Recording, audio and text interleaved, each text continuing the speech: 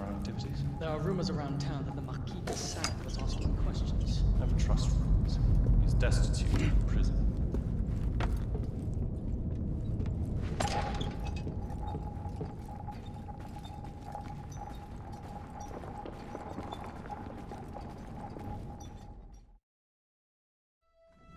Why do you employ such a man as Rose to find the temple? He cares nothing for us or our aims. If I was in your place, I would not pander What to does a rat want?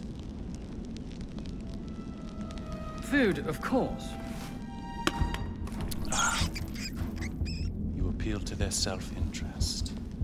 But you have miscalculated. Your people are dead. I know the human animal. What you fear, what you love. Is Rose a bad man? Undoubtedly. But I, Napoleon, can control him and turn him to what is best for France. The masses will gladly renounce their freedom if all can entertain the hope of rising to the top. The artifact inside the temple, I will bring them the illusion of hope. And I will lead us to glory.